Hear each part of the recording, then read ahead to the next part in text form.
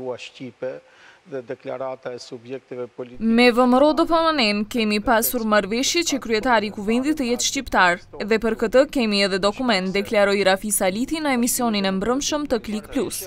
Marrëveshja me VMRO-DPMNE-në ka qenë kryetari i Kuvendit të jetë shqiptar, të udhëheqë në gjuhën shqipe. Çka duhet të them tjetër? Aliti tha se Ivanovi dhe ekipi i tij qëllimisht po tentojnë krizën politike ta shndërrojnë në konflikt etnik. Sipas gazetarit Arben Ratkocerit, shihet qartë se VMRO-DPMNE ka plan se si më tutje edhe nëse kalohet kriza në Kuvend. Sipas tij, përveç partisë së Gruevskit, asnjë parti tjetër nuk ka pasur plan konkret se çka pas zgjedhjeve. Është shumë interesante se si veprohet.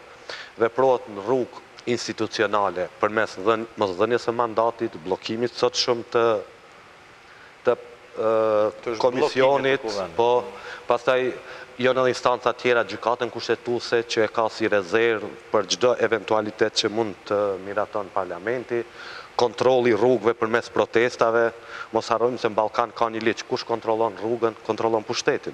Analisti Visar Ademi insiston se shqiptarët asesi nuk guxojnë të tërhiqen nga deklarata e përbashkët. Ai thotë se shqiptarët për hir të formimit dhe stabilizimit të shtetit hoqën dorë nga drejtat e tyre pas vitit dy mijë e një. Hoqën dorë për shkak të anëtarësimit në NATO dhe BE, por sipas Ademit ky është momenti kur ato të drejta duhet të realizohen. Tiranës është gjëja më e bukur që u ka ndodhur maqedonasve, për mendimin tim, ëh. Sepse për herë të parë tregon që shqiptarët duan të ndjehen të barabartë në Maqedoni, nuk kanë më ëndrra për Ilirida, për Arbëria, për shtete të mëdhaja të cilat ne ose ato i kanë ushqyer dyzet e pesë vite fëmijët e tyre. Ne themi që dëgjo, përfundimisht ne duam të bëhemi barabartë këtu. Në qoftë se marrëveshja e Ohrit e përfundoi luftën, edhe do të ishte marrëveshje e paqes, Deklarata e Tiranës duhet të jetë marrëveshje e barazisë përfundimtare. Ish-deputeti Ismet Ramadani tha se fronti që ka hapur Zaevi kundër Gruevskit është shumë i rëndë, kurse sipas tij nuk guxojnë partitë shqiptare që ta lënë atë vetëm në këtë luftë. Zoran Zaevi ne duhet ta pranojmë se ka hapë front jashtëzakonisht të rëndë, jashtëzakonisht të vështirë, jashtëzakonisht të rrezikshëm me Nikolla Gruevskin edhe strukturën e tij. Është e vërtetë. Dhe kjo është e vërtetë në çdo deklarim të tij.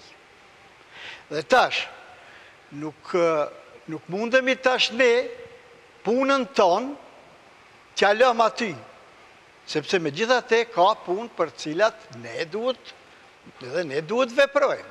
Të gjithë mysafirit ishen të njëjtit mendim se partitë shqiptare nuk duhet me asnjë kusht të tërhiqen prej deklaratës së përbashkët.